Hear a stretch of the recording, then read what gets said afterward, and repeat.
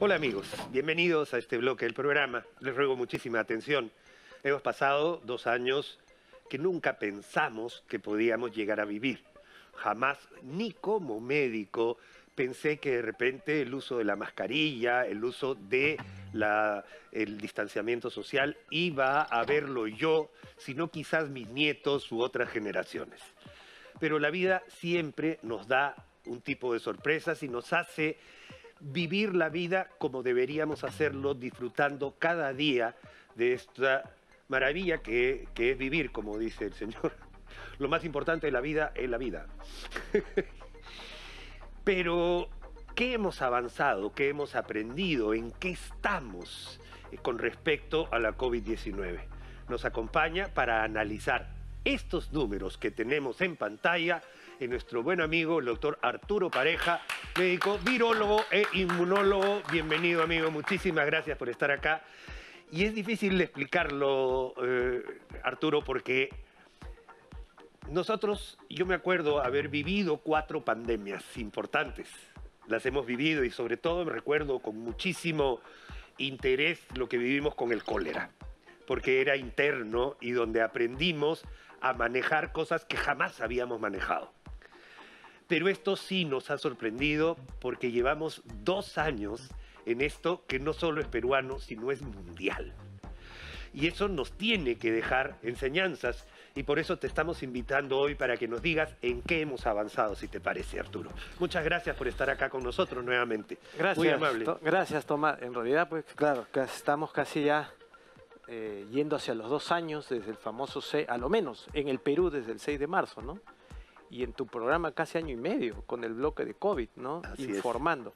Lo principal acá es eh, informar a, la comunidad en un lenguaje sencillo y que pueda entender, ¿no? No simplemente dar una opinión sesgada o tratar de decir, no, está mal o no está bien desde su escritorio o desde su asiento cómodo de casa, sin eh, estar pues en la trinchera. Y la trinchera no solamente es un hospital, la trinchera también es un laboratorio de investigación, la trinchera también es un ambiente como este, un programa, un programa como este, donde se difunde con veracidad información. Y lo peor es que cuando difundes con veracidad, van en contra de uno.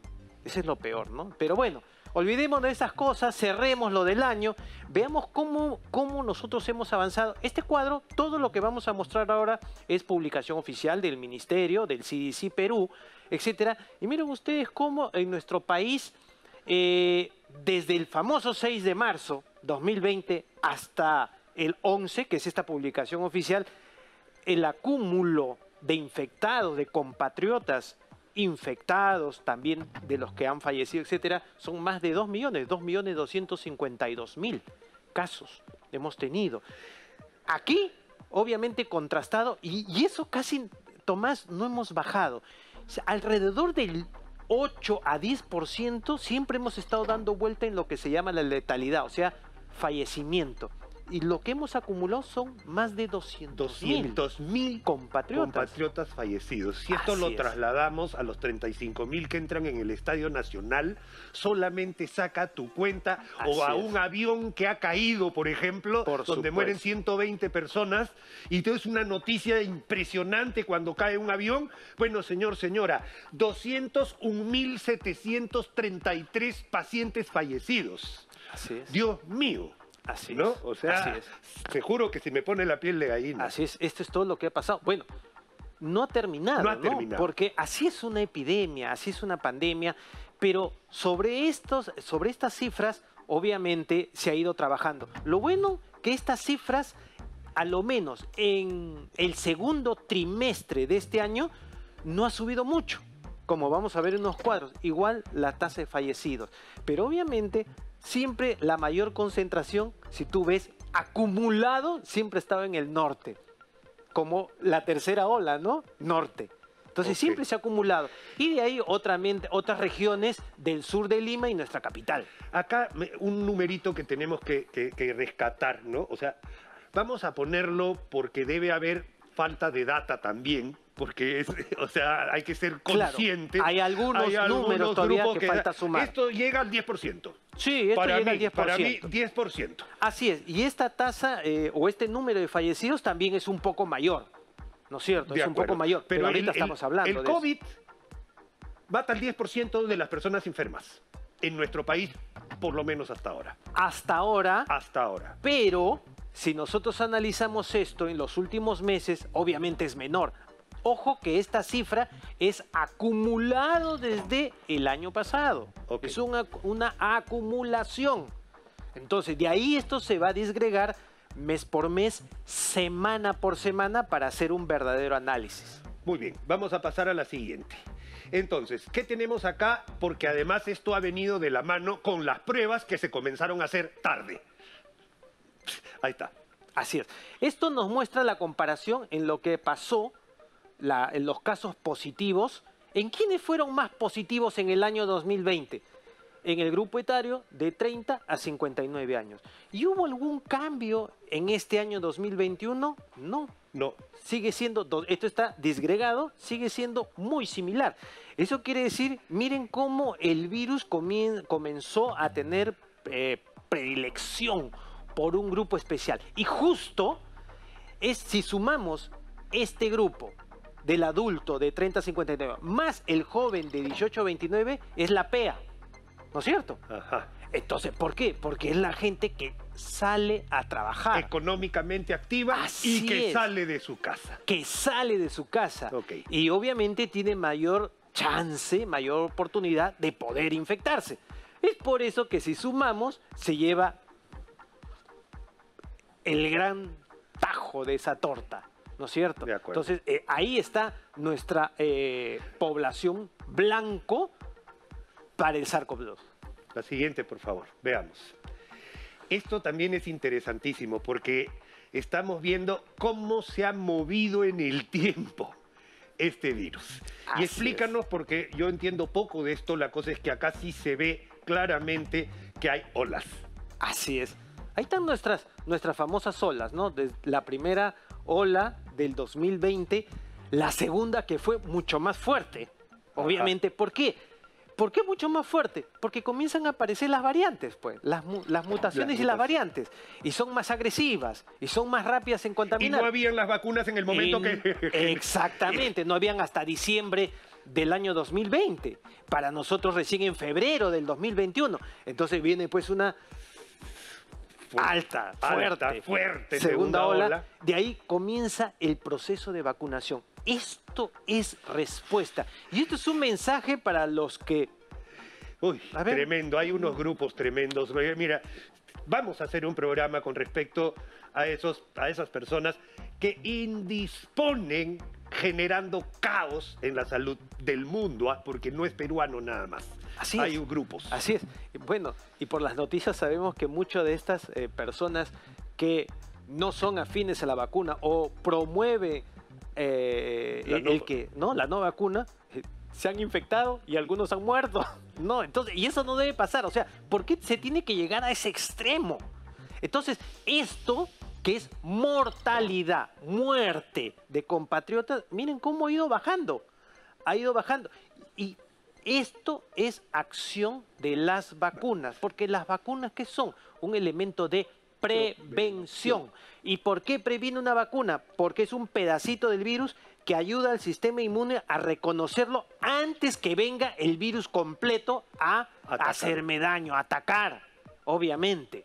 Entonces, ¿de qué me voy a preocupar? ¿Se preocupan de los efectos adversos? Dígame cuántos han muerto En el ahorita Perú, por una vacuna en el Perú. ninguno. A ver, O sea, en el Perú, me refiero, en el Perú, Sí, ayer escuchaba. sí, ninguno. Ninguno. ninguno ha fallecido por efecto adverso de una vacuna. Entonces, ¿dónde estamos? Este cuadro demuestra eso. Entonces, ¿estamos en una tercera ola? Sí, pero esta tercera ola es la más baja que hemos podido observar, incluido o comparado con otros países, ¿ah? Incluye Europa. Que Europa hay países que ya están en tu séptima ola. Siete. Nosotros recién tres, pero una ola mantenida, pequeñita. Ok. Pero esto es, obviamente, por, por no, las vacunas, la comunicación, sobre todo, y las medidas, Medidas de salud pública, todas las medidas de prevención, mascarilla, eh, distanciamiento social. Aprender todo. a convivir con el virus. Por supuesto. La siguiente, por favor. Esto es súper interesante porque es por regiones. Por regiones. Y acá vamos a aprender cosas que, que- que- que las habíamos comentado antes de que esto suceda y ya las habíamos dicho. ¿Por dónde es que nos contagiamos más? Y acá tenemos, sigue el norte, pero también el oriente, ¿no es cierto? Así es. Coméntanos un poquito. El norte siempre eh, ha- se ha destacado por empezar, digamos, un brote o una elevación de los números, de los casos. Y, y no solo con el infectados. COVID, ¿ah? te digo No, dengue, por supuesto. chikungunya, o sea... Por supuesto que todas las enfermedades que nosotros decimos metaxénicas porque son transmitidos por un vector, un mosquito. ¿ok? Y el norte, por diferentes aspectos, no solamente socio- socioeconómicos, sino Climatológicos. ecológicos. Ecológicos y climatológicos, Así totalmente es, de acuerdo. ecológicos es donde hay cambio. Entonces, el norte está mostrando esto, ¿no es cierto? Ahí está elevado en el norte. Cosa diferente fue el comportamiento un poco de la selva. Pero ¿qué pasó con la selva? Si nosotros vemos estas curvas, arrasó con el oriente. Y eso que hay más dispersión de la población en el es. oriente. Hay más tierra donde la gente no está tan junta. supuesto. Claro. Ya. Y sobre todo, que a mayor infectados, esa famosa inmunidad Inmunidad de de rebaños o inmunidad de comunidad se ve aquí. Eso asociado a la vacuna se refuerza mucho más. Ok. ¿Qué ha pasado? Porque llama la atención el centro, esas, porque ahí vemos una tercera, oli- una tercera ola como que se desbordó en un momento, Sí. pero hay una mayor base que quiere decir que más personas se infectaron en esa zona Así y que es. no tenían acceso a la vacuna. Exactamente, para que veamos que es directamente proporcional. Y nuevamente con esto se demuestra el valor que tiene la inmunización. Eso eh, nos está demostrando. O sea, esto es una evidencia. Así es. Entonces, con esto se rebate todas esas, con el perdón de la palabra, estupideces que escuchamos en algunas personas que quieren en la no vacunación. Perfecto, pero no vamos a entrar No, porque lo vamos no, a no guardar entramos, sí. para el hígado para otra oportunidad. Así es. Muy bien. La cobertura y la vacunación. Así es. Que esto definitivamente mejoró a partir del 2021 y tenemos que ir un poquito más. Eh, explícanos rápidamente de qué se trata. Lo bueno que en los últimos meses en la cobertura se ha avanzado bastante. Bastante. ¿Te acuerdas, Tomás, lo que siempre hemos dicho? Y, y- y esto el, el día sábado, que fue el vacuna, el en la ciudad universitaria de la Universidad San Martín de Porres, junto con, el, con la DIRIS, este, el Ministerio de Salud, se ofreció todo un día completo a la comunidad de esa zona para que pues eh, accedan no solamente a la vacuna, sino otros tipos de vacunas, educación, etcétera. Y sobre todo, eso, conversando, lo que planteamos en tu programa. El virus está en la comunidad. Busca el virus. ¿Ok? ¿Quién necesita la vacuna? El de la comunidad. Anda la comunidad. Entonces, ¿qué es lo que estamos viendo ahora? Que las direcciones de salud van con pruebas de PCR, pruebas de antígenos, a buscar a las personas en los distritos. Van a sus casas, se ponen en el parque, en, en el parque central, van a un centro comercial. Lo mismo pasa con las vacunas. Entonces, nuestra cobertura, siempre hay que hablar a dosis completa. Ok. ¿ok? No a una sola, sino a dosis completa, porque aquí no tenemos la de dosis única. Acá Sí. tenemos la de dos, sea las tres que circulan. Esto ya subió porque todos los días va cambiando. Ahora estamos al 72%. 72. ¿Te acuerdas que nosotros decíamos, pasemos los 70? Entre 70 y 80, es lo entre ideal. 70 y 80 Y- decíamos. Y, nosotros decíamos, en diciembre, antes de pasar al año, deberíamos llegar a 80. Yo pienso que sí vamos a estar llegando a esa Y ese es un gran mérito, porque Por tampoco hay que quitarle el mérito a las personas que tienen. Por Lo supuesto. que sí ha habido un retraso absoluto que ha causado más de 100.000 muertos. Así es. Ya, eso es algo que tampoco se puede tapar el sol con un dedo. Y veamos que en estos cortos meses, mira cuánto se ha avanzado. De acuerdo. Muchísimas gracias, amigos. Espero, y de verdad, yo tengo que agradecer también el valor de muchísimos médicos como el doctor Pareja que toman las decisiones en el momento oportuno para dar información contrastada que no va en contra de la salud del Perú, ni del colegio médico, ni de algunos opinólogos que se creen especialistas. Muchísimas gracias, amigos. Gracias. Continuamos con más de nuestro programa.